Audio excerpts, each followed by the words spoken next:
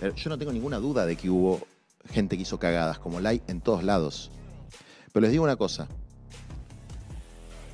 En el movimiento del que yo participaba, y hoy no participo más, que hay también miles de grupos de trabajo, nunca nadie se calentó en ir a auditarlo. ¿eh? Nadie se calentó en ir a ver en el territorio si se estaba trabajando. Era bueno, si lo quieren hacer que lo hagan, si no lo quieren hacer que no lo hagan.